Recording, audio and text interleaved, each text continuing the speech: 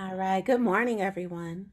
This session will be closed captioned. This feature is available by clicking on the closed caption icon at the bottom of the Zoom application. A transcript will be provided upon request. Your mics are muted. Please submit questions or comments using the Q&A icon at the bottom of the Zoom application, and we will begin to attend to those following our panelists' remarks. Your name may be read aloud, so please let us know if you wish to remain anonymous.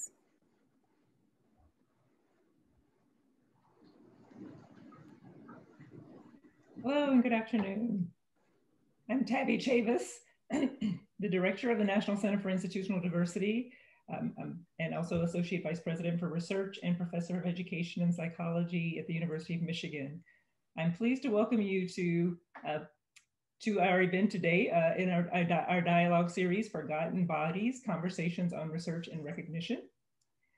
NCID's mission is to produce, catalyze, and elevate diversity scholarship our developed framework for diversity scholarship defines it as scholarship that helps advance our understandings of processes and phenomena related to areas such as difference, inequality, culture, identity, power, oppression, and as they impact individuals, groups, institutions, communities, and societies more broadly. Our catalyzing Michigan mission area includes bringing together interdisciplinary communities of scholars to support research engagement and innovation. And our elevation mission area includes making visible important contributions and the legitimacy of diversity scholarship and diversity scholars, and supporting the dissemination and application of their scholarship and informing and addressing critical societal issues. Today's event, the second in our series, Remaking a Life, How Women Living with HIV AIDS Confront Inequality, will be a conversation about the policies and activism that support the transformation of individual women's lives and the ongoing transformation of the HIV AIDS epidemic itself. On behalf of NCID, I'm thrilled to welcome an exciting interdisciplinary group of diversity scholars to lead us in this conversation on research and recognition. Thank you again for joining us today, and I will now turn the program over to Ashley Woodson, NCID's Assistant Director. Ashley. Thank you, Tabbye. The title of our series is borrowed from poet Claudia Rankine's declaration I am invested in keeping present the forgotten bodies. Each conversation provides models of relevant, necessary research that resists past patterns of exclusion and expands our sense of community. We invoke Claudia Rankine's words and the words of today's dialogue leaders as an act of remembrance, saving space for those whose lives and words have never been acknowledged, but nonetheless directly inform our efforts today. We are indebted to their sacrifices and hope that our time together inspires new avenues of honor, restitution, indemnity, and justice. Representing our conversation on social media is Maya Glenn, a first year PhD student in sociology. Her graduate research agenda examines how Black women are sexually socialized. More broadly, she is also interested in how Black women experience intimacy, express agency, and come to claim various sexual identities. Thank you, Maya, for your facilitation. Follow Maya and us at UMichNCID and represent this space using the hashtag Forgotten Bodies. Now to introduce today's conversation leaders. Our featured author is Dr. Celeste Watkins Hayes, a professor in the Department of Sociology and in the Ford School of Public Policy and University Diversity and Social Transformation professor at the University of Michigan. She is the author of Remaking a Life How Women Living with HIV/AIDS Confront Inequality. Our guests will offer 10 minute remarks in this order. Dr. Alford A. Young Jr., the Edgar G. Epps Collegiate and Arthur F. Thurnau Professor in the Department of Sociology at the University of Michigan. He also holds an appointment at the institution's Department of Afro American and African Studies. His primary area of research has been on low income African American men, where his emphasis has been on how they construct understandings of various aspects of social reality. Next, Dr. Vincent Hutchings is the Hanes Walton Jr. Collegiate Professor of Political Science and African Studies and University Diversity and Social Transformation, Transformation Professor at the University of Michigan. Y'all gonna have to forgive me while I get used to these titles.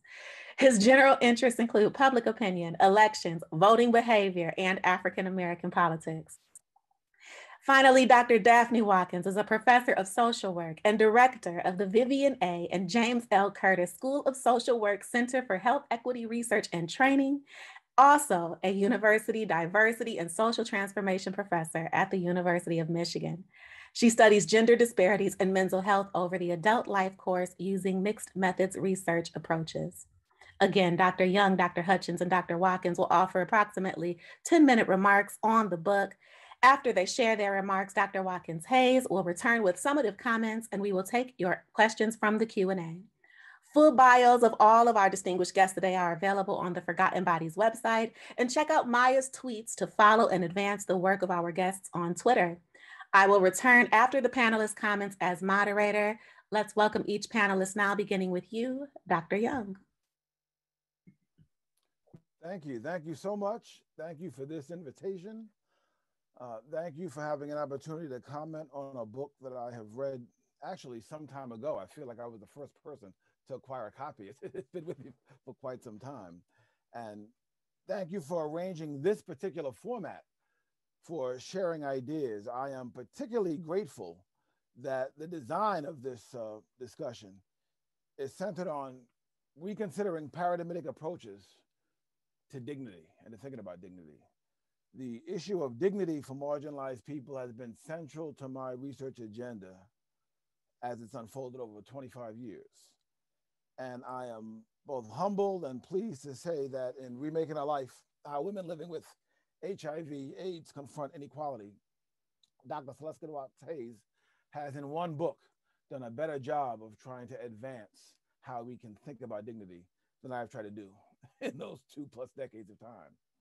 Um, it is very much the focus on dignity in this work that drives my attention, that centers the comments that, that, that I want to make about the work, and that I think is pertinent given the design of this conversation.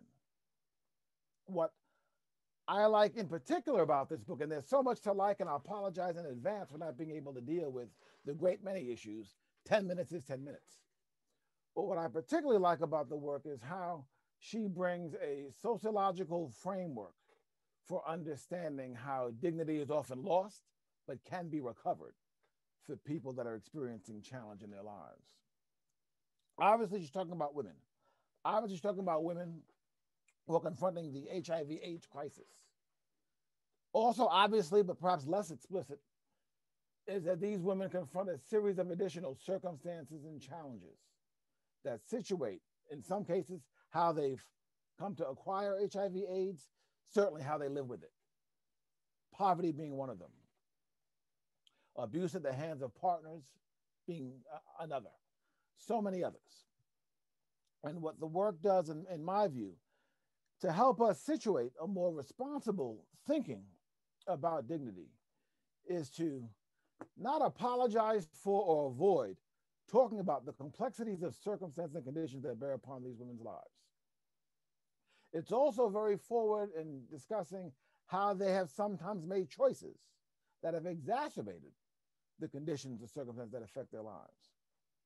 What we come to understand quite fully in this work is that social structure, culture matter. They play contextual roles in shaping both the choices that the women pursue the options that are available to them and how others external to their lives, or at least external to the complexity of their lives, may regard and think about them.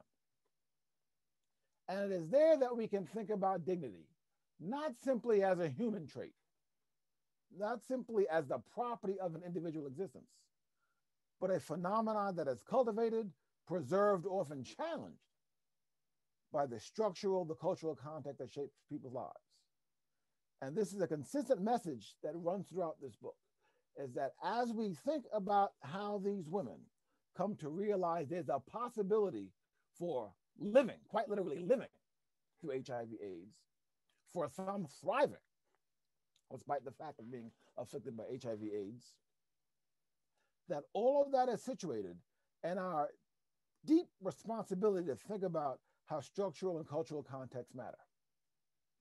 By that, I mean that Professor Watkins Hayes helps us think a lot about what kinds of social connections these women experience, not simply in terms of medical health professionals or the medical support industry, but other forms of contact connections, whether it's around employment, family management, personal care, and well being, but how all these dimensions of social life come into play and the different ways in which women realize there's action they can take on their own behalf, or there's support they can seek out, or there are people in some cases or institutions they have to avoid. Beyond that, she helps us understand that history matters, that there's no singular critical moment, there's no singular point in time, there's no key transformative moment, although transformation matters, that triggers change for women. That we don't think about the individual commitment to change without thinking deeply about the social circumstances and context that create those possibilities in the first place. We also, in the course of this work, get out of what I think is a deep and penetrating problematic logic for thinking about people like the women in this study. And it's aside from whether we question the extent to which they have dignity or deserve to be responded to with dignity. The deep and penetrating problem is what I call a singular focus on an issue or a concern or circumstance that drives negative outcomes for individuals. Here, and even the title of the book may lead us to believe that HIV AIDS is all that matters. That that's the critical issue, that's a critical concern. What Black and Hayes does for us is allow us to think about the multiplicity of issues and concerns that reinforce the so-called health problem that the women confront. And that moves us so critically out of what I think is still a deeply penetrating perspective in, in, in, in poverty studies and in, policy, to a certain extent in the social work community, that singular problems or concerns are all that we must confront. And that we can somehow make advance on a singular problem or concern by providing resources attention to that problem. It is the totality of one's life that's at stake here. And trying to intervene in ways that capture the complexities of the ways in which people intervene with each other that poses a challenge for all of us. I've received a message that my volume is not very loud. I want to make sure that I'm being heard. Um, is this any better for folks? At least the panelists can hear me. I can't speak for others. I hope all others can. so, with a little bit of time left, let me put forth a couple of points of, of consideration that I hope we take from this work and that I invite um, further conversation about. The first, and, and again, it's delivered in this work, but I think it calls for us to think more deeply about the structural, the cultural context. How might we better galvanize an understanding of how external parties, in their behavior, in their action, in their inaction, create the basis for recognizing people as dignified, as enabling them to recognize themselves as dignified people. We see in this work that the twists and turns around HIV, AIDS mobilization, political mobilization, uh, social activism created opportunities for a different vision of HIV, AIDS afflicted people. And that coincides with when and how these women at different points in their lives were able to say, I can survive this, I perhaps can thrive. All of that turns the attention to external parties and leaves before us the question of not simply how do we intervene, how do we treat individuals who are afflicted, but what might go on to better enable external parties who have access to critical resources to reimagine suffering people. Are there generic lessons here? And we certainly see the need for such lessons given the particular pandemic moment we're living in now and questions of dignity and who gets regarded as a dignified individual abound. Second, how might we speak back to the policy and social service arena in understanding the role of history and change? By that I mean that, and again goes back to some of my earlier comments, we often think in terms of a singular intervention, right? And program providers, program funders often think in terms of quarterly or systematic evaluations of programs in terms of treating these singular problems or issues. Yet we see in this work that people don't quite live their lives that way. It's not about engaging a program and feeling better or doing better four months later, five months later. There are twists, turns, developments, setbacks, as well as moving forward. And how might a policy or social service sector that is so steep, and I get why it's steep, right? Funding dynamics, what have you, are so steep in precise measurement of periodic returns.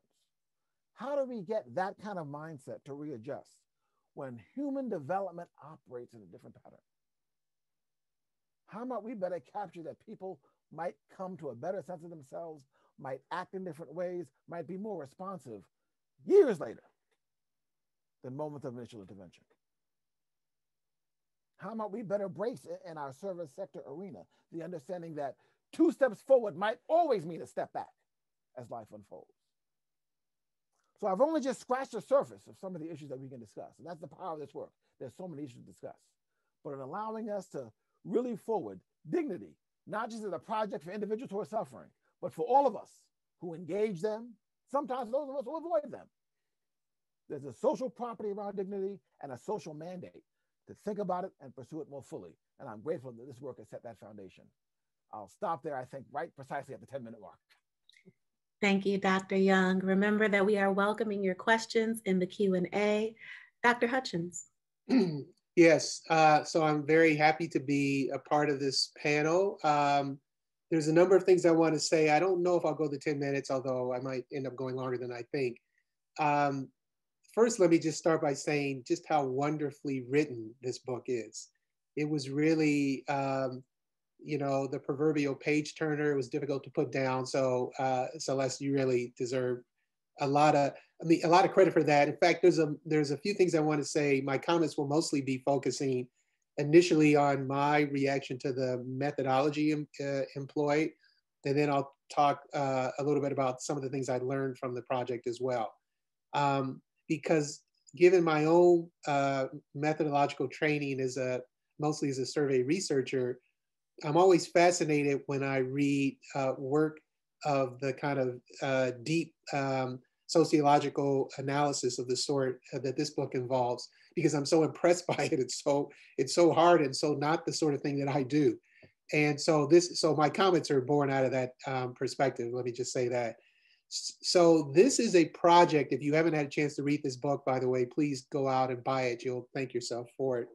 Uh, it's a, it's rough at times, but it's uh, a very important learning experience. Um, the methodology involved cultivating relationships with women on the very margins of society for a, a long period of time, a very lengthy years and years period of time uh, multiple uh, dozens and dozens of women. So, uh, Celeste, I, I, don't pretend to know how to do this. I've never done this in my own career, which is partly why I'm so fascinated by it. Uh, she obviously managed to build a rapport and a sense of trust with these women. She would be invited with them on doctor's visits as they discussed the most sensitive, uh, indeed life-threatening aspects of their um, circumstances and I was just impressed throughout with that with that part of the project. There's something else I want to highlight in addition to how well written it is and how impressed I was by the painstaking um, nature of the manner by which she gathered the data. Uh, and Al kind of touched on this a little bit as well. It was the the complete lack of judgment as I was reading her discussion about these uh, women who had very disparate and desperate uh, circumstances in terms of their participation in the, as I think she put it, the sexualized drug economy and um, in other sorts of decisions they had made in part because of constrained options on, on the table for them. But at no point did I read any hint of judgment in the work. And maybe that's just par for the course in this manner of work, but I, I just wanted to give praise to her as an author uh, for doing that. It's probably part of the reason she was able to generate the rapport with the participants in her study because she was genuinely, it was clear uh, to them and it was clear to me as a reader that she had a genuine interest in their well-being and understanding how they ended up where they ended up in their uh, life in terms of their efforts to live with well, uh, to be dying from, but ultimately, ultimately to live with, and if they were fortunate to thrive despite their HIV status. Um, so, so uh, uh, those are some of my positive comments about the book. Now, I want to say a little bit um, in my time here, and I'm more interested actually in hearing from the audience than listening to my the sound of my own voice. So I I don't think I'll go on too much longer. But I learned a lot of things from this. I thought I had a pretty good uh, handling on this issue. I'm I'm actually from the San Francisco Bay Area. So when the AIDS uh, issue erupted initially in the early 80s, I remember as a high school student, this would have been around 1982 or so. I remember when this happened. So I've been, I, I thought of myself as fairly informed about the matter, but that was before I read this book. Um, one of the many things I learned that was really kind of telling about this issue from the perspective of not all, not all, but many times, uh, uh, in many cases, low income Black women. In some cases, they were middle class. In some cases, they were uh, Black and, uh, excuse me, they were uh, Latina or white as well. But the focus of the book is on Black women and often low income Black women. And um, I, I, was uh, struck by the extent to which sexual trauma was a feature of their stories and uh, contributed directly, sometimes indirectly, to their uh, HIV status. It was um, it, it, was just compelling and disturbing. Uh, it, like many of you in the audience, I suspect, and maybe even some of us on the panel, it's it doesn't take much of a leap to think about members of our own family uh, who have had similar struggles. And so, as I was reading Celeste's book, I was thinking about members of my own family, uh, extended family, who have had some of these struggles. So, sexual trauma, the prevalence of it, the ubiquity of it, the routine nature of it, and the callousness of it uh, just came through as I was reading um, the book and some of the various uh, individuals, participants in her study and their biographies. It was really heartbreaking, but illuminating and providing context, as I think Al was indicating, to how they how did they get in these these precarious circumstances. So the sexual trauma that they encountered uh, for me helped to provide a lot of context and, and explanation for the struggles they uh, that led to their HIV status and and uh, and also to the struggles that some of them faced in terms of not they there this wasn't always a rosy scenario that was laid out. They didn't all ultimately thrive despite their uh, diagnosis. Some didn't, and those who didn't, it was in part because of the trauma that they experienced. So that part, um, it's not that I had never heard of sexual trauma before reading this book, but I didn't necessarily appreciate the extent to which it is associated with um, some of the health challenges that are described in this um, this very important manuscript or, or book, excuse me. Um, so that was one of the things I learned. The other thing that I learned had to do with the issue of class, uh, really in two ways. One, in that ironically, the diagnosis for many of these low income women, uh, the diagnosis of HIV, and if they were able to take advantage of the safety net uh, that has been developed around uh, the, this illness, um, it actually improved their economic circumstances, or at least stabilized it, perhaps more accurately. And uh, I would not have thought that. It, it wouldn't have been something that would have occurred to me prior to reading this book. So uh, the author goes into a great deal of detail about why that is the case. Once they, and this is in part because of the work of activists uh, and some politicians over time developing an infrastructure so that individuals could take advantage uh, of the opportunities to get medical treatment and also to address the accompanying social ills regarding housing and other matters. Um, and so, ironically, uh, this is not to say that being diagnosed with HIV is a good thing, but if you are mired in uh, the drug culture and all the attendant pathologies associated with it, um, an HIV status could, under some circumstances, provide the impetus to uh, straighten yourself out to a degree, and, and the infrastructure taking advantage of that could actually stabilize your, your circumstances. That was really a, telling insight, at least um, for my for my reading.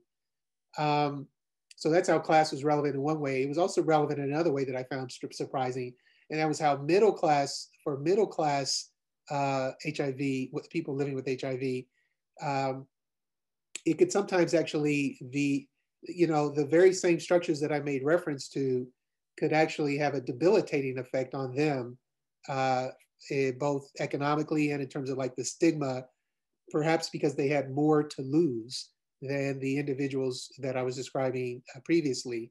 So that those kind of counterintuitive findings um, were noteworthy and interesting to me and helped to make the book a rich um, experience in, in, terms of learning about this world that is not a world that I'm familiar with. Um, and then I'll just say one last thing and, and conclude my comments and um, you know because I'm looking forward to hear the hearing the last panelists and also hearing the Q and A. Um, it, it, the ways it was interesting the kind of structural impact and by that i mean the one of the running themes throughout the book is the way in which the women the these black women low income women um, recognize that the early efforts to address the aids crisis was dominated by relatively privileged white men. And that's not to disparage their uh, unfortunate circumstances of course but the, the point I'm trying to make is that the uh, both as a biomedical uh, reality, but also as a kind of a social structural reality, the interventions that were devi- the devised uh, played to that population of relatively privileged white gay men. And it didn't necessarily, not because of any animus on the part of those uh, early activists. They were, they had a problem. They mobilized to address that problem, and it was appropriate for them to do so. But in fashioning solutions, they uh, perhaps inadvertently lost sight of how these solutions might not play uh, to a less affluent and uh, uh you know women or trans populations. And so that theme I thought was really uh, important because it was about how kind of inadvertent and structural components of these um, interventions could still leave women, poor women, Black women, Latinas, uh, feeling less than served. Not again necessarily because of any animus on the part of those those early activists, but just because their the solutions that worked for them didn't necessarily work for that population. So that part I thought was really uh, fascinating. There's much more I could say about what I liked about the book, um, but I hopefully will get an opportunity to do that in the Q and A. And again, um, so I'll conclude on that point. Thanks. Thank you, Dr. Hutchings. Dr. Watkins. Yes, yes. So um, there are, I imagine, both pros and cons to going last because I feel like some of the some of my thunder has been borrowed. I won't say stolen by my colleagues, but I'm hopeful that I can enhance some of the things that have already been said. So I too just want to start with just enormous praise for the book and the way it was structured, um, just so easy to, to read. And I would go as far as to say a page turner. I really enjoyed every, every piece of it. I think my inner anthropologist was pleased. My inner mental health researcher was intrigued, and my inner Black men's health researcher, I think, was so satisfied by what um, I was able to follow. And so um, I had so many takeaways from the book that I wanted to um, and I, I, of course, naturally, given the given time, I won't be able to get into you know all of the takeaways, but just some what I call jewels that came out of the book for me that I really look forward to discussing in the larger group. Um, I I was struck by the beautiful way that I think Celeste you were able to amplify the voices of these women, and um, I, I felt like given what has happened in our country in even like the past 12 months, I felt like these stories are timeless in that they speak to um, so many gendered and racialized bodies of people of color in, in ways that I think sometimes people don't really consider. Um, and so I was just appreciative of the way the stories seem to not be sort of held in any particular era of, of life, but that um, they kind of just transform over the course of someone's life.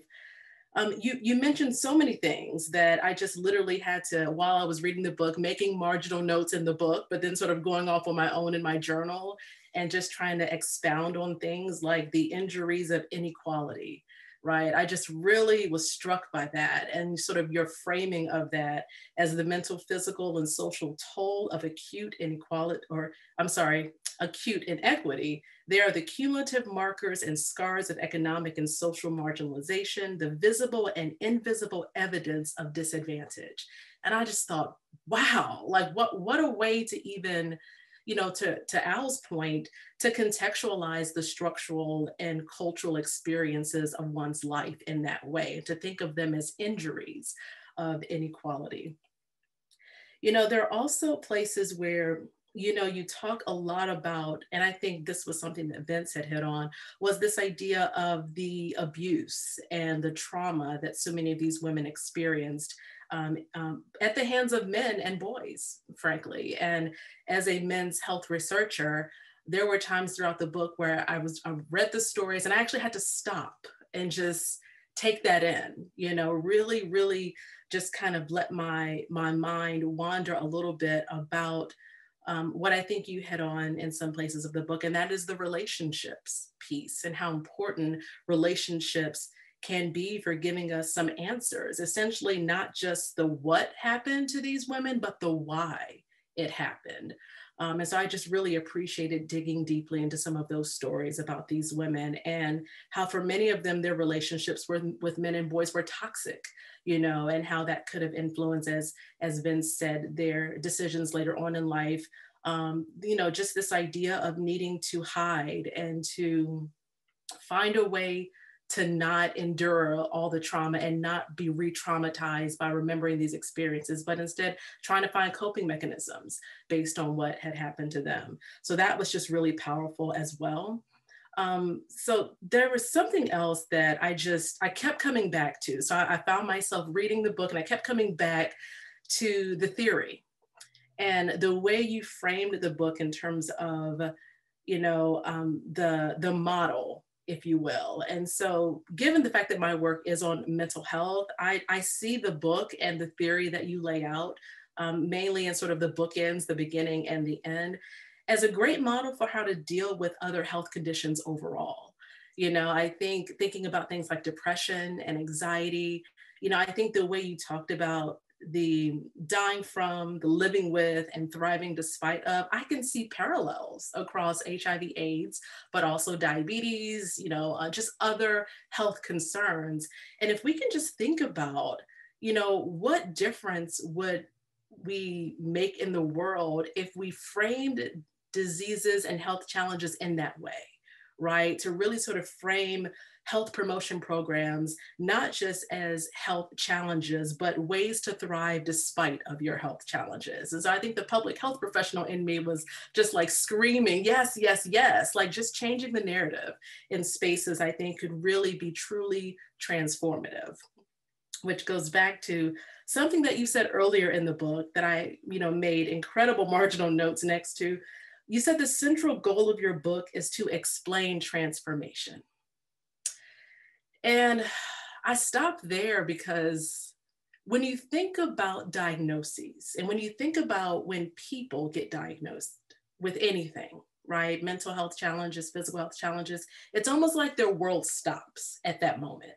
You know, they get the diagnosis and it's hard to imagine what life can be like after that. But I love how your, con- your context of trying to explain transformation really speaks to what that life after the diagnosis can look like and what that thriving after the diagnosis can look like. Um, can look like.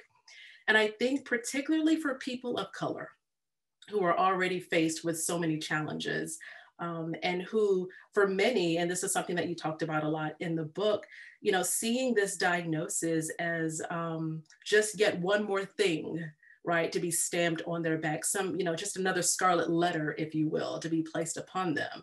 It is just so important that we, as, you know, health professionals and scholars and people who work, you know, in this space with these, with these uh, people, the people that we care, you know, really care about, just think about the implications of how we frame the next steps for them and really think about it as you know, this is today, but there is a life after this. There are ways to move forward, and here is how we're going to do that together.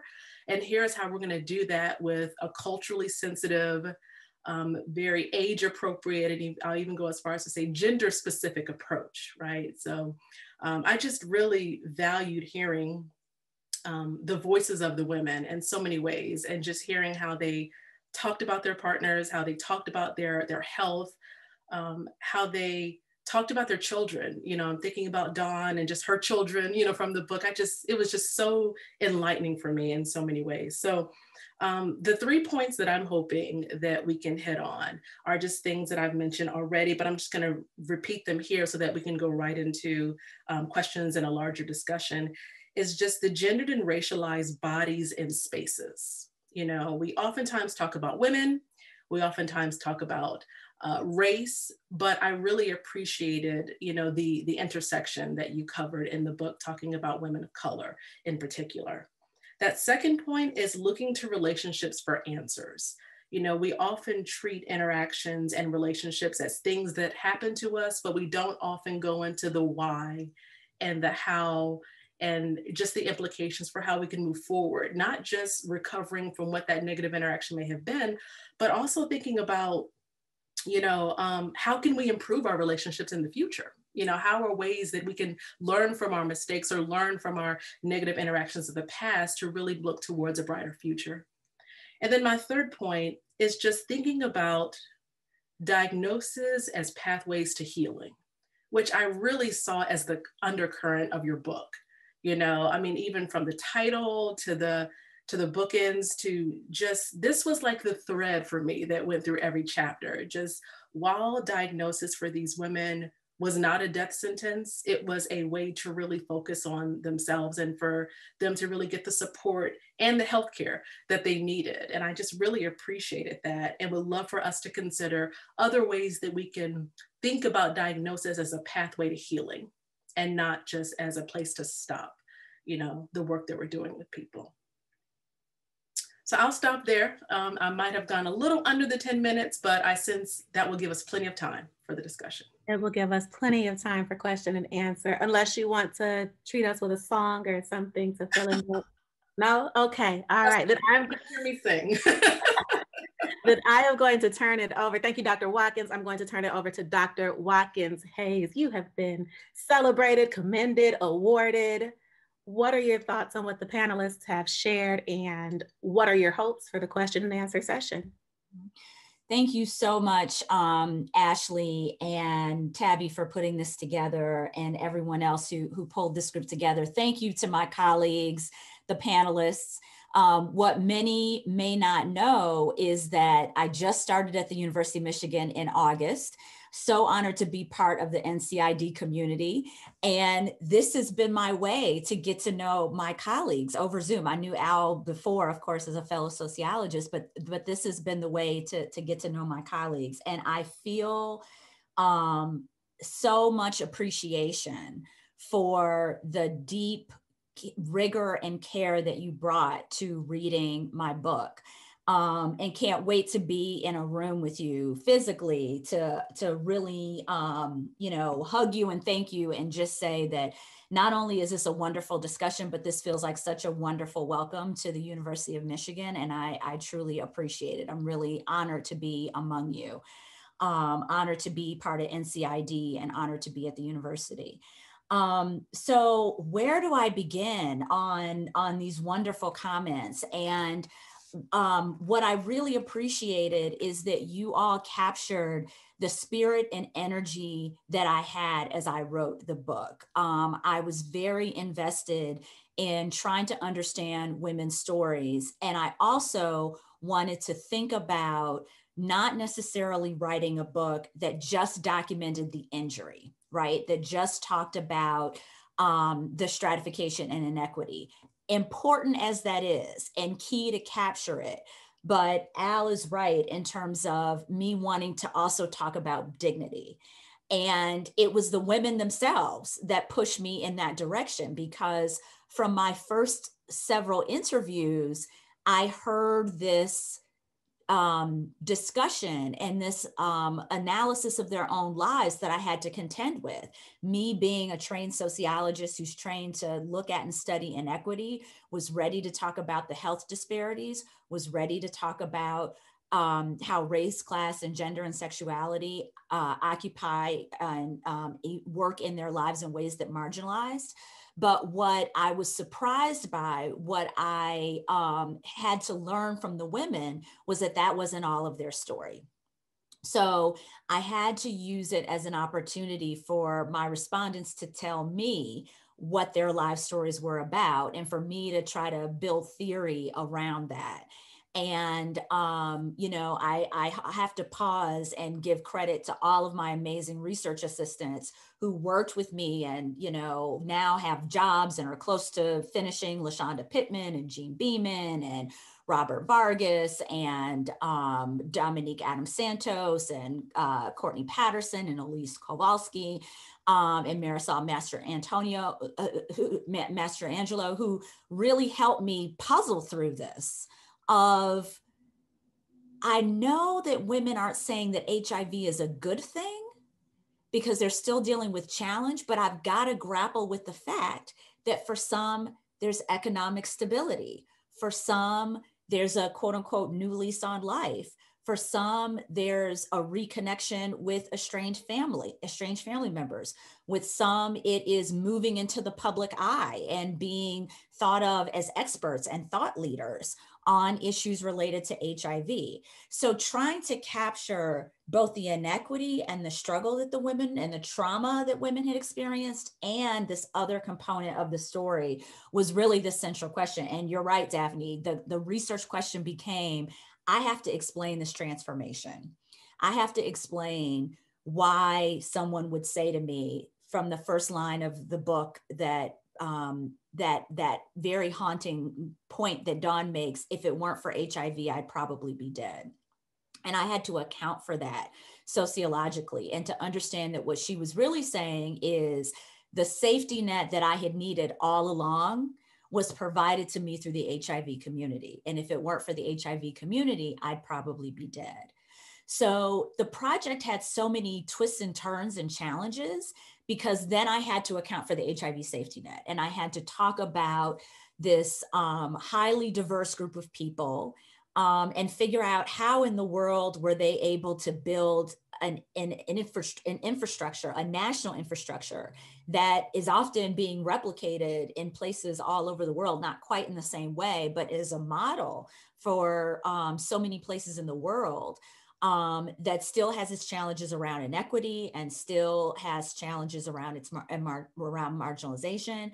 But essentially bringing it back to the theme of um, our speaker series all of these forgotten lives coming together to save their own lives to shape policy to speak truth to power and to figure out how to do it as a collective with all of its tensions and warts and debates that happen within the community. And I, I needed to make space for that um, and, and to highlight that. So when I think about this notion of forgotten lives, I think about women in particular, but especially Black women, forgotten in the initial framing of HIV in terms of our initial understanding of HIV focused on those initial cases that were documented among um, white gay men, not realizing that the epidemic was already affecting people of color, was already affecting women, and certainly affecting women of color.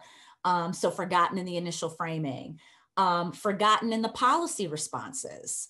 Um, as the nation was pushed, as Vincent highlighted, by early AIDS activists and the ways in which the LGBTQ community saw HIV as an existential threat and took it on as um, something to mobilize around, but cisgender heterosexual women struggling to find their way in the policy agenda, struggling to um, figure out how they would become politically active when, as I highlighted in the book, the considerable risk of coming out as a woman living with HIV, what it might mean for you, what it might mean for your children, um, and what it might mean for your status in, in a community that hadn't fully grappled with the HIV epidemic, as, as Cathy Cohen has so beautifully articulated in um, her book, Boundaries of Blackness. The third thing piece I think about when I think about forgotten bodies is their stories were forgotten. And that was something I was trying to recover as well. There was no Black female equivalent of Magic Johnson. Black women came into Magic Johnson's story as what would happen to Cookie and who were the women that magic was involved in. There there was there was no other in between status or no, no other status for black women to occupy in the in the discussion um, there was no, you know, Elizabeth Glaser who was able to testify before Congress and push for money for pediatric AIDS research. So Black women and women of color had to find their way within that public voice and within that public conversation. And that was also what I wanted to, to document, whether it was, you know, thinking about Rae Lewis-Thornton on the cover of Essence magazine to women who are becoming involved in public speaking through my work, look, looking at that. And then the other thing that I think about as it relates to um, forgotten bodies is the role of transgender women.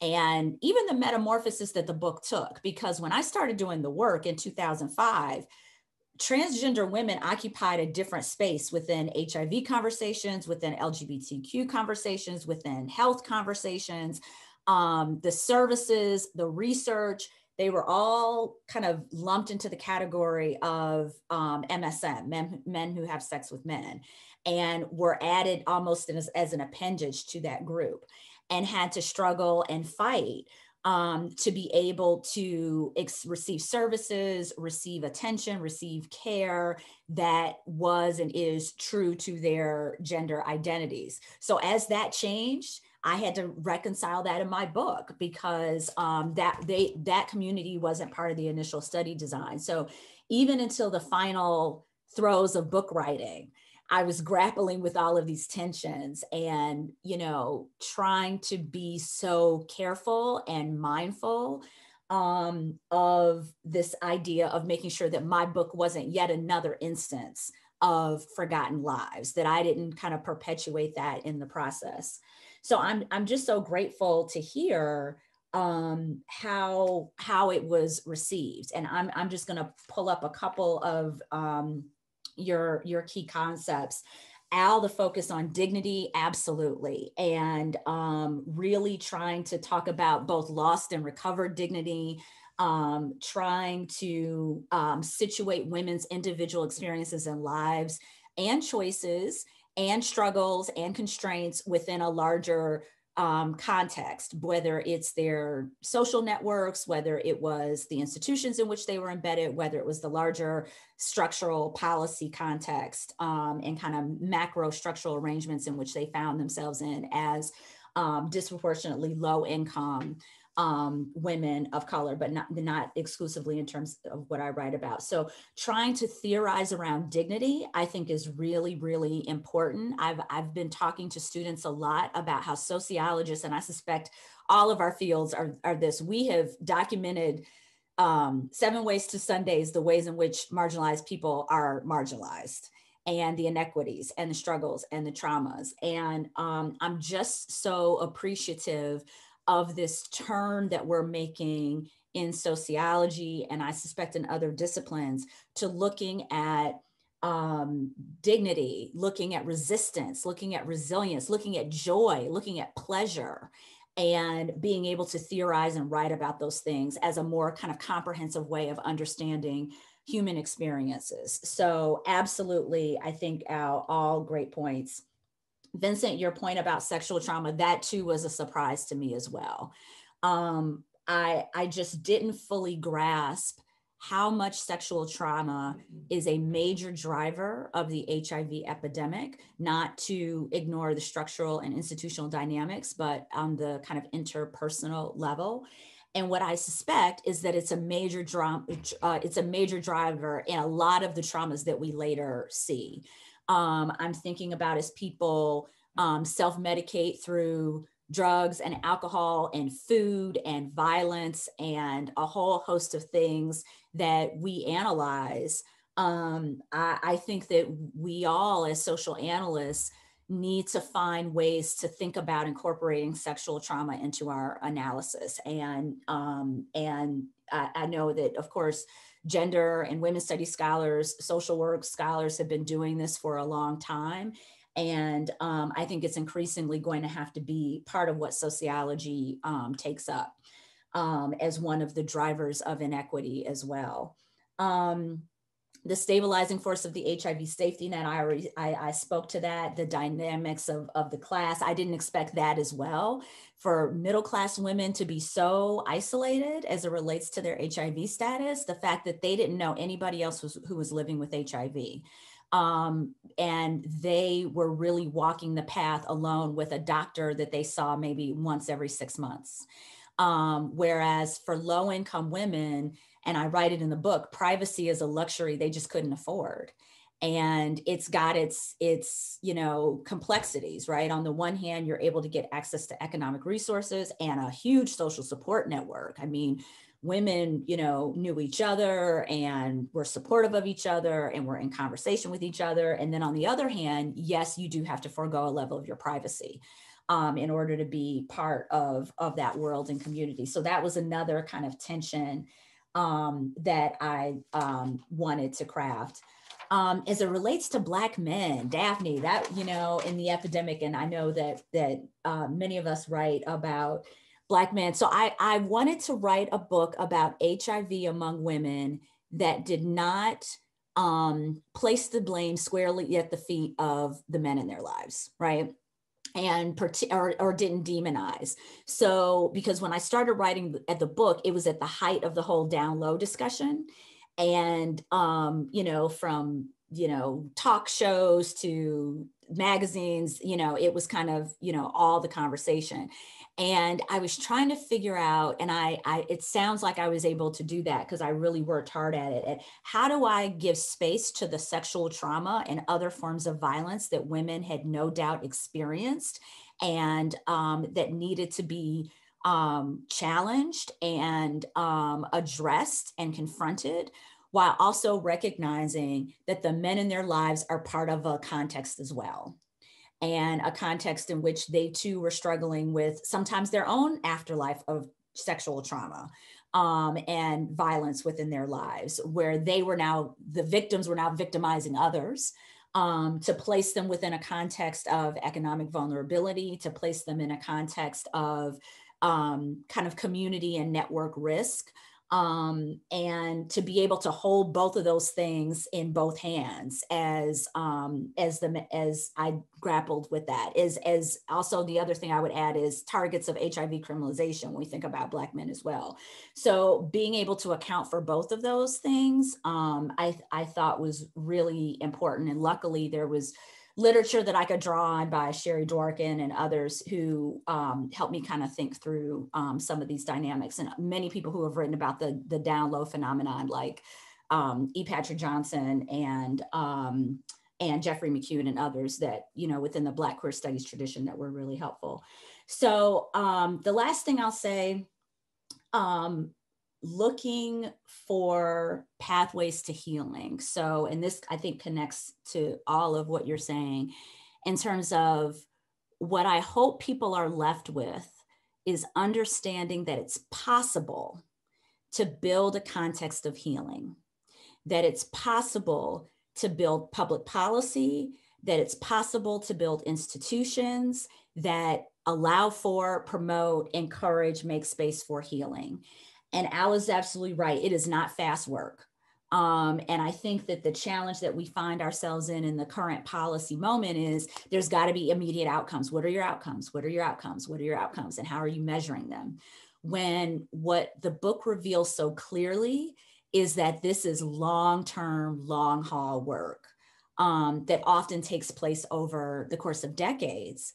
But when it's successful, look at what we get right? Look at what we get. Look at um, women who are able to remake and recover and look at how they're able to contribute and find voice and um, and have lives for themselves that um, that make them joyful. So um, my parting message is it, it's possible if we can think about and stay committed to the long hard work that it is so thank you so much. And I look forward to um, the dialogue. All right, thank you for those comments, Dr. Watkins Hayes. Uh, we do have questions in the chat and a reminder that you are welcome to drop your questions in the Q&A preferably, but I'll find it if you drop it in the chat. Uh, let's start with a broad one for everyone. Examining the pathways that research participants take to reclaim and insist on dignity means exposure to great indignity and injustice.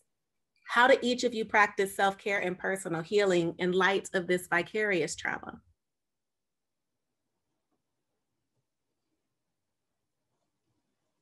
And the question means uh, the vicarious trauma for us as researchers? For you as social scientists, yes. Oh, Ooh, I'll be curious to hear what my colleagues have to say about this.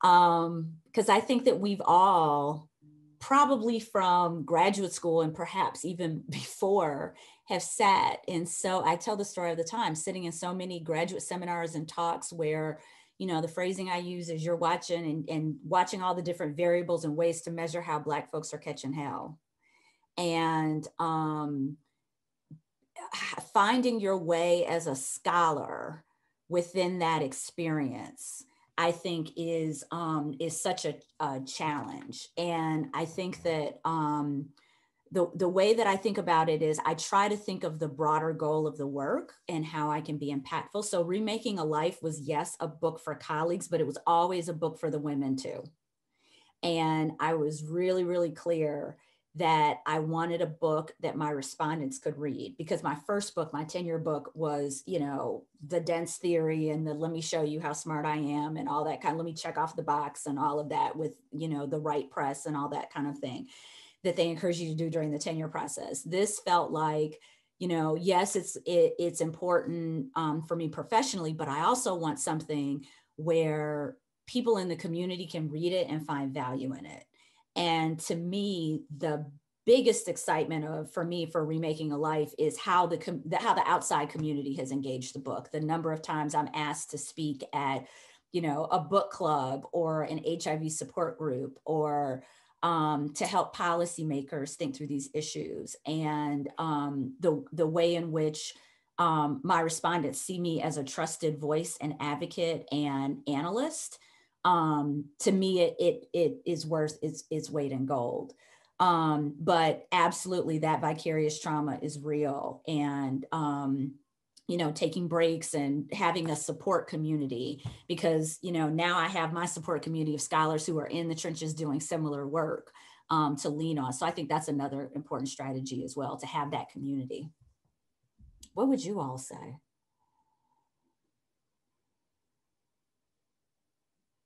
Well, uh, I'll jump in first, not because I have an answer, because I don't, but because I'll buy time for my fellow panelists. Um, it, yeah, I was thinking about that question as it came through. It's a perfectly fine question. Um, you know, there was the trauma that we were experiencing vicariously by reading and, and talking about Celeste's book uh, this um, this afternoon.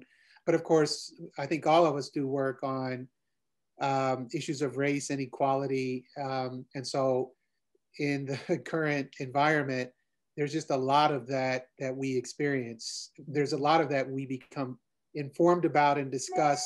So uh, in an effort to be um, brief here, I'll just say that I guess if there's any strategy I've developed, it's just to try to compartmentalize.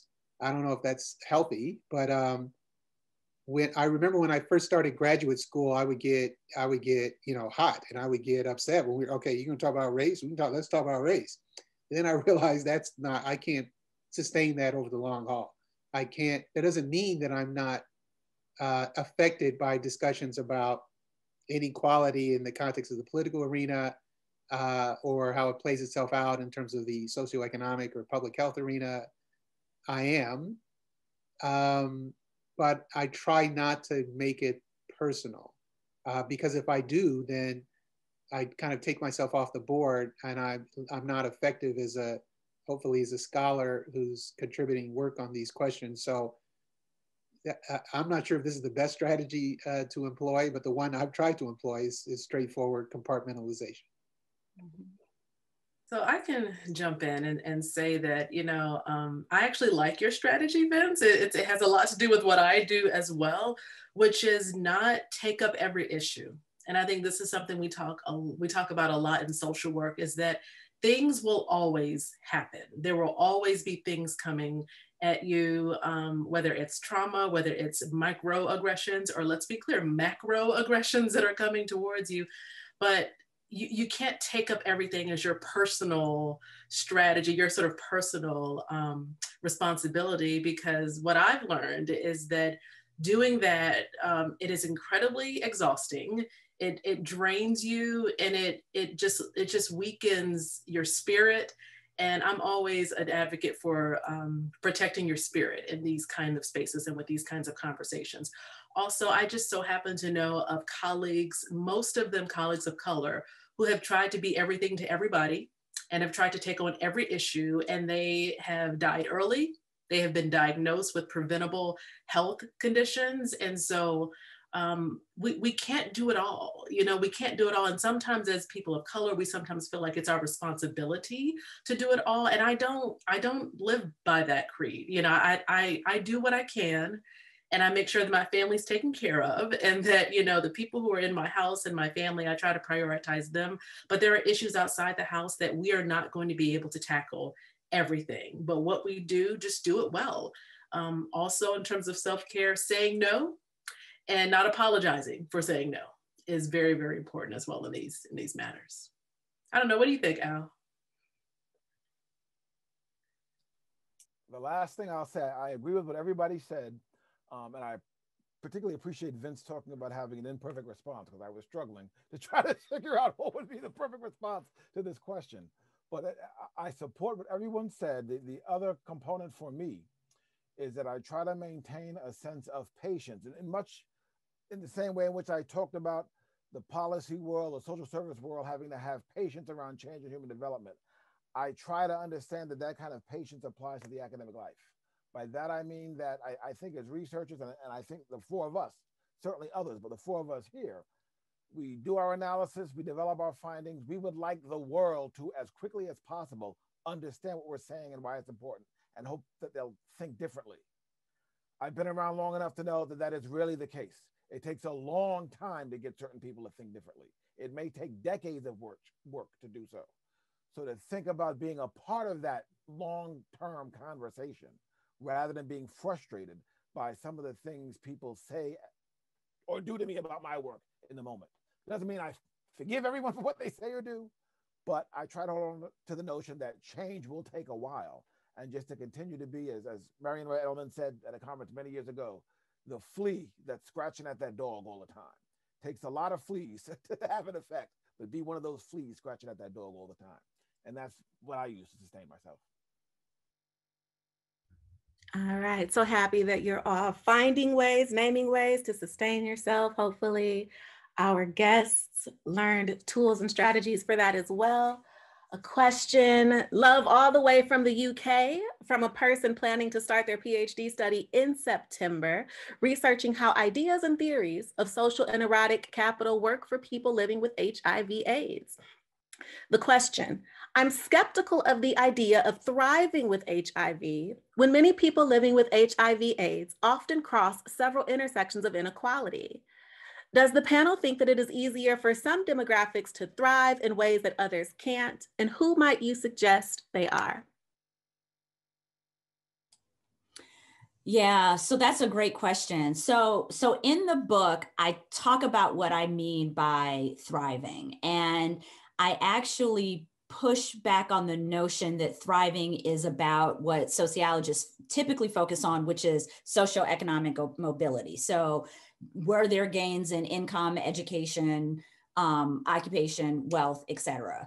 And that's how we often measure mobility. And the, the mobility that I'm talking about is, is very different because, you know, when we when we talk about thriving despite, many of the women that I write about remain in poverty and impoverished. And I talk about that in the book. So when I think about thriving despite, I mean getting to a level of stability where one is not in constant crisis mode and getting to a place where one is able to be more agentic as she navigates through relationships and her families and communities and to start to be um, a change maker, to be able to influence the people around her and perhaps to even be able to influence public policy perhaps in, in those best instances. So for people who are coming from a place of extreme marginalization, um, who are in a situation where day-to-day survival is an achievement, given all of the barriers that they're facing, thriving despite is getting to a place where that kind of crisis is not as constant, right? It's not saying that it never happens, but it's not a day to day way of living. Um, and and that's what I was fundamentally trying to capture. And I, when I talked about dying from, I mean dying from either physically or psychologically or um, in terms of um, economic needs, et cetera. And then when I talk about thriving despite i'm thinking about how do you get to a place of, of stability and to the point where you can start to um, articulate where you want to be and how you want how, how you want to get there um, that goes beyond kind of the day-to-day survival. So the question about are some groups better poised to do it than others? Absolutely.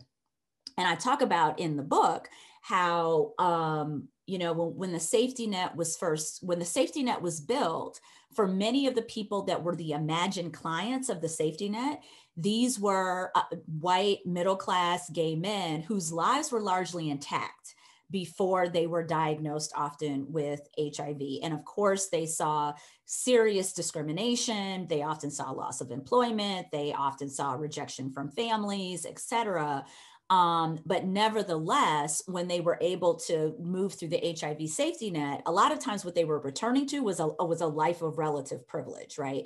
And we've seen that bear out in the HIV epidemic, and we've also seen um, the LGBTQ community um, continue to talk about the inequities that, that exist within the community, such that there's a there's still a need to engage on the HIV question, even though so many people who are living with HIV are now at undetectable viral loads and life goes on and they're looking at life expectancies that are um, pretty normal.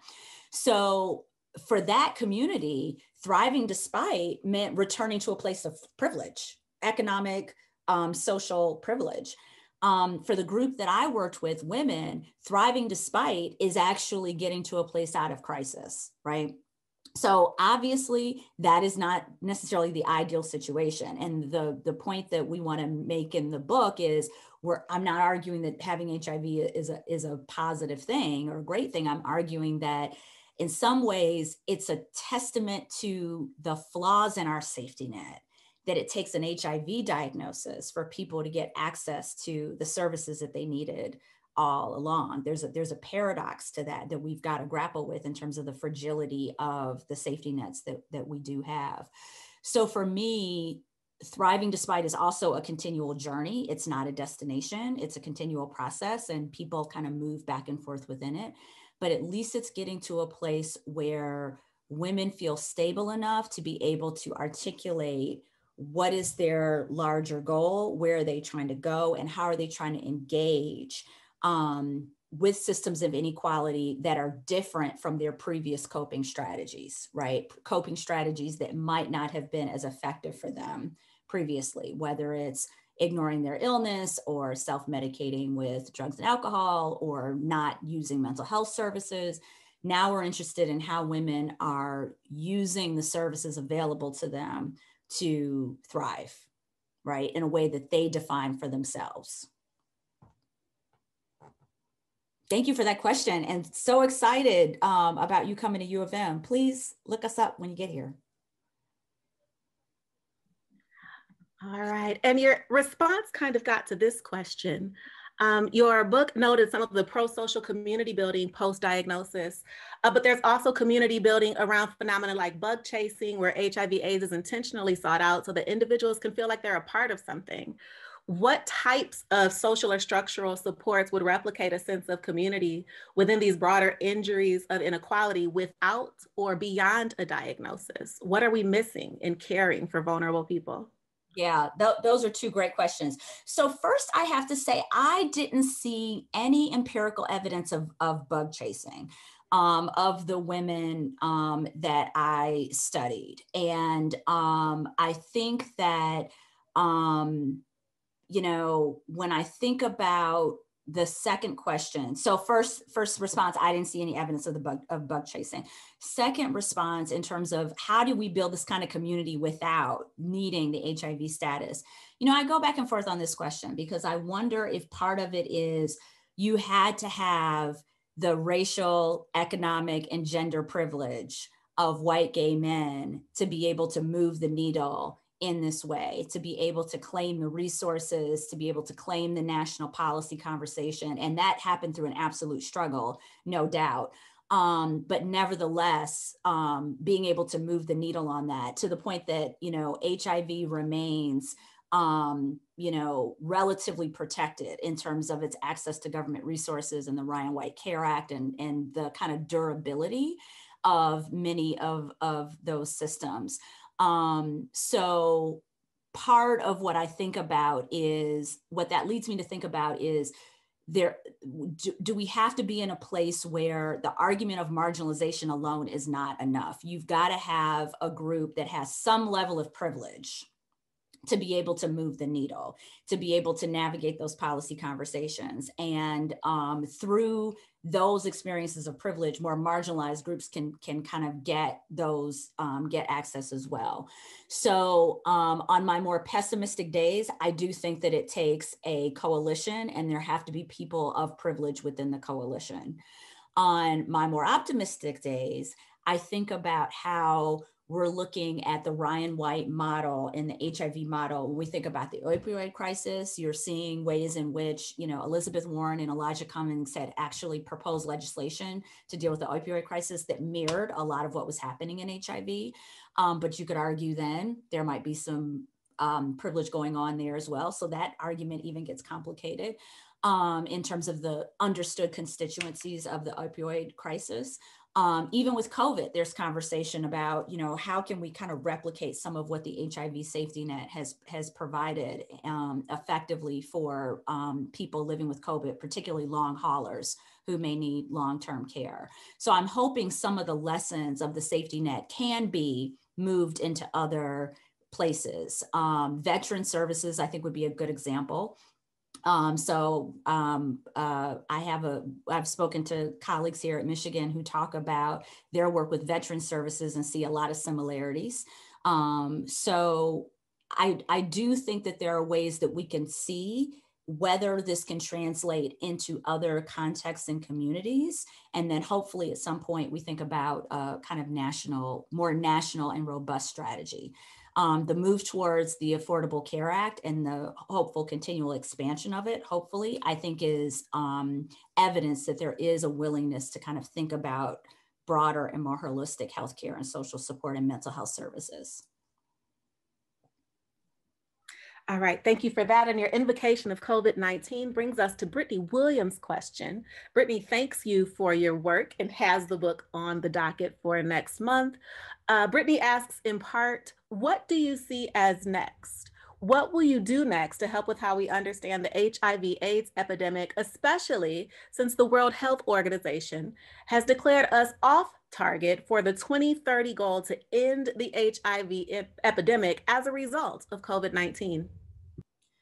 Yeah, that's a great question. And I think that um, there are some, you know, we know that HIV continues to be an epidemic of inequality. And I think a couple of the things that we've got to think about first of all, um, we are not seeing um, equal access to the tools to address HIV. So whether we're t- talking about PrEP, which is a, a, medication that people can take who are HIV negative that protects them and keeps them HIV negative. We see that PrEP take up is disproportionately happening among men and disproportionately happening among um, happening among white men. Part of that is because of how the drugs were tested and who was in the clinical trials. Part of it is how the drugs were marketed. So now we're seeing a serious lag in terms of the women that I study not being um, particularly women of color and just women in general not knowing about prep not having doctors and providers who are talking to them about prep. So i think you're going to see a gap there. The second thing that i see you're, that you're going to see a gap with is for people who are already living with hiv um, we're only going to be able to close that gap and meet those goals of, um, of reducing the epidemic if we're able to make sure that people living with HIV get access to the medications that get their viral loads down to undetectable levels. Because if their viral loads are undetectable, they can't sexually transmit. So that is a technique to stop the epidemic. We find that disproportionately people of color are not getting access to the healthcare and are not getting um, and are not being retained in care to get to those undetectable levels. Um, in the US context, the epidemic has largely moved to the south, and particularly the southeast um, part of the region, um, where we're seeing, you know, in both large cities, but also rural communities, the HIV safety net has not been built out there. So if I would have done this study in the South in a different city, rural or urban, I probably wouldn't see what I saw in Chicago. So um, the we have definite gaps and slippages in terms of the robustness of the safety net, both in the U.S. but also abroad. So I would say those are the three things that are preventing us, and I, it, you know, it will of course be heightened as a result of of COVID. So I'm trying to think through those issues and kind of work with colleagues on thinking about, you know, how, how do we effectively move forward, especially given the realities of COVID.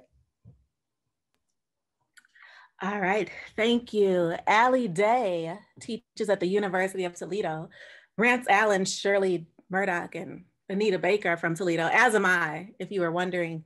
And Allie asks, if you found any concepts, ideas, public policies from critical disability studies or disability justice literature that have been useful for your work on women living with HIV. Mm-hmm.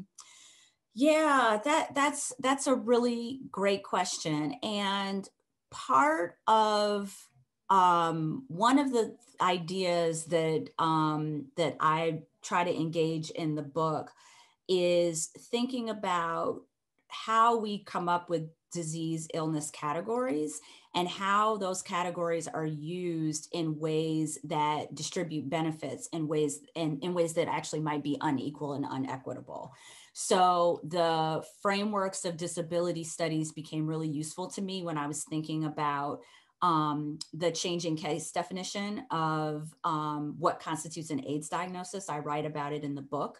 And I write about the ways in which, because women weren't included in many of the studies of people living with HIV, how we understood the progression of HIV as an illness was based on how we understood how it progresses in men. So, what was happening was that women weren't being categorized as having stage three HIV or what we know or what we call AIDS. And as a result, we're not getting access to some of the benefits and services reserved for people um, living, living with stage three HIV or AIDS. So, I really liked the idea or took up the concept of um, how disease categories end up creating material resources and realities for people. Um, and how, when our understanding of disease categories is, is flawed, it has significant economic and, and other implications. Thank you for that answer. And we have a novel researcher what are ways to gain the trust of your respondents, especially when working within an institution that has historically supported the social inequities that we are trying to challenge? Mm-hmm. That's a great question. I think the whole panel should uh, engage in that because we've all got to grapple with it. Um, a, a, lot of it is, um, you know, and Vincent really talked about um, the length of time that it takes to develop trust and to understand the community. So for me, a lot of time had to be spent just understanding the language of the HIV community and what the key concerns were and what the stakes were and and a variety of different um, fights and struggles and to understand the kind of nuances of, of different dynamics so um, I'm not saying it has to take a 10 year plus project to do it. Some of the reason my book took 10 years, where they were, you know, as Daphne talks about, I didn't always say no when I should have to administrative and other projects. Um, so that lengthened the time of the work. Um, uh, so, but nevertheless, I think it's it's important to invest the time and also to be out in the community. So I started, you know, volunteering as, you know, in, at an AIDS service organization Um, I would give talks and still give talks to many HIV community organizations just to become a part of the community and to and to learn as much as I can. Um, and I think that when you do that, people start to see you as opposed to the university, and they're able to make that separation.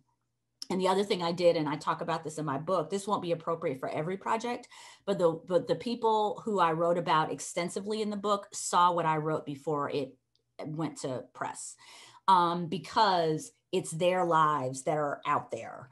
Um, and I was, you know, people wonder, well, do people try to change what you wrote? I was pleasantly surprised that nobody tried to change anything. And you saw how intense the stories were. And people said, This is my story. It is what it is. And, um, you know, people corrected me on things like dates, like, no, that wasn't 1985, that was 1986, things like that. But other than that they said this is my story and um and i'm ready for it to to be out there in that way. And i think developing that kind of relationship where people trust you um and when they read what you wrote they understand that you're talking about all of the dynamics that they're facing i think um, builds that kind of relationship where they can say all right i'm ready to release it what do you all think how do you deal with this well, for me, I primarily work on large N surveys, so it's a different story. But the way we we as a profession, not obviously just me specifically, but survey researchers in general rely heavily on uh, anonymity. That is the you know the questioner rightly noted that um, institutions of higher learning don't exactly have the greatest reputation, and for some good reasons in terms of how they've interacted with uh, you know, marginalized populations. But one thing the profession has learned is that if we're going to be asking sensitive questions, and we do this on surveys routinely about any manner of different things drug use, criminality, sexual activity, and attitudes about race. Uh, we have to adhere to this standard of where this is an anonymous survey. We're not going to be taking information about you, your personal circumstances, uh, so that would be one. And the second thing, and I'll end, is that we uh, also put forth this notion that, you know, if you encounter any question that you are uncomfortable ask, answering, you are free not to answer it. We're not going to force you to answer a question. So it's a it's a different, somewhat different universe than the one that Celeste is operating in, but it's still important that we establish in, in both cases some bonds of trust that we're not going to take advantage of you when we ask you these sensitive questions. Mm-hmm.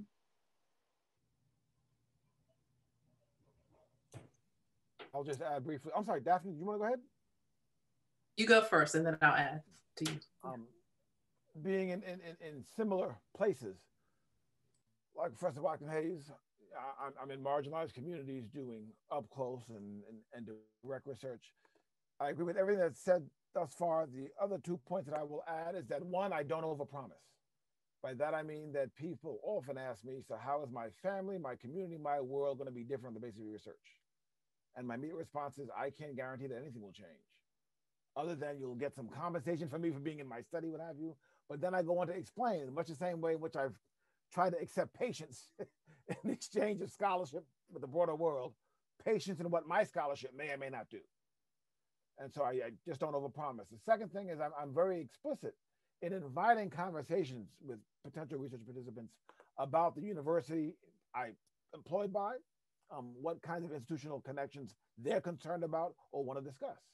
And one of the points I raise is that whatever history of problematic relationship might you might may have experienced, that's only addressed by people like me or others trying to engage you and act and respond differently. So a better future is only going to come about through people like me encountering you. So I hope you're willing enough to, to, to make that happen. So the only thing that I'll add is, and I echo everyone's comments, um, the one thing that I'll add, just to make sure that it's amplified is that it takes patience on behalf of on behalf of the researcher and behalf of the participants as well. And I know sometimes our academic and professional deadlines don't always meet up with the time that it takes but i've learned over the years that you cannot rush relationships with participants you you can't rush rush that relationship you know, for a paper deadline, for a conference deadline, even for a book deadline, I'm sure, right? Right, Celeste? So you, you can't really rush that. And so you will have to find some compromise with the fact that it takes time for them to trust you. And frankly, for you to trust them as well, you know, trust them to be honest and upfront about their experiences. But I know that's not always um, met with celebration on the academic side. But if it's really the work that you're wanting to do and you really see it valuable, then you're going to have to be patient with building that trust. All right, these were powerful, powerful reflections, um, comments, such wonderful engagement.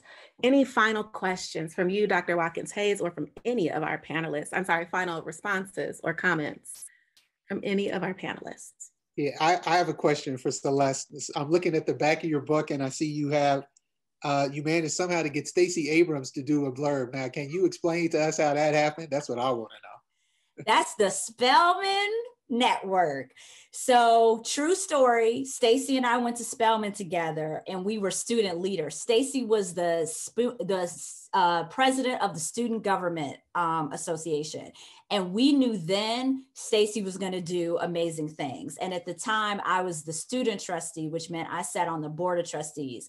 So there would be two students often in a boardroom at Spelman's um, at Spelman's board of trustees, Stacey and I and um, we did that together and got to know each other and have been friends ever since. I could not be prouder of her and i will tell you the stacey you see now is th- that's exactly who she was in college brilliant and dedicated and we knew she was going places. We didn't expect to this degree but we knew um, that she had something special. So she um, is a supporter of the book That is absolutely amazing. Did you touch her while you were at Spelman? yeah, I mean, we like, you know, oh, that's she, wonderful. We that's each other's dorm rooms, and I mean, you know, we're we're buddies. Yeah. I touched her elbow once in DC, which is why I brought that up. Um, other final thoughts from the panelists. Leah, thank you for being involved in this conversation and an appreciation that we went so far beyond just the book, as important as the book has yeah. been, to allow people to bring in other questions, concerns, and it really speaks to how the work allows us to think so deeply beyond the very topic at hand. And that's a sign of great work. And the piece that I'll add is, you know, you don't have to be you know, an expert or interested in HIV AIDS or even Black people or even women to get something from this book. That's one of the things that I think um, I really appreciated about is there are just so many jewels throughout that can apply to other communities, to other, you know, um, health concerns, and, and frankly, just to other um, just lives in general. So I just really thank you, Celeste, for putting together such a beautiful piece that I think is transformative in ways that I think are really, really helpful for readers. So welcome. Go out and get the book. human human experiences and lives. That was the goal. So thank you for saying also that that it it moves in different ways and through different communities and it's it's finding such diverse audiences um, that I've really appreciated that and diverse communities and um, but everyone is really resonating with the the fundamental message of you know we all want to live our to our, our to our highest potential. We all want that opportunity. And um, how is it that we can build policies and structures and communities that allow for that um, and not just in everybody's life? Thank you so much for that. For those questions that we didn't get into, please, please, please get the book. I loved it. It took me about two days to make it through the book. It's absolutely outstanding book. You're going to love it. It's going to inform your work, no matter how you structure yourself as a scholar or activist. Um, we have a quote from Kai, uh, just heartbreaking and illuminating is such a good phrase to describe how I felt reading this book. I read about trauma too often that leaves me feeling disempowered. This book was not the case at all. So we celebrate that and we celebrate you, Dr. Watkins Hayes. We let that thought inform our continued service to the symbolically and structurally forgotten. Stay in touch with us and expect updates on the next Forgotten Bodies conversation featuring W. Carson Byrd and guests. Please help us build this and other NCID programming by completing our post-event survey sent to the email address you used to register for this, this event immediately following our conversation. We thank you for your time. We hope that you remain safe and strong in the struggle. Thank you for attending today. Thank you for attending and thank you, colleagues. This was just wonderful. So appreciate it. So appreciate it. Thank you, Tabbye. So appreciate it.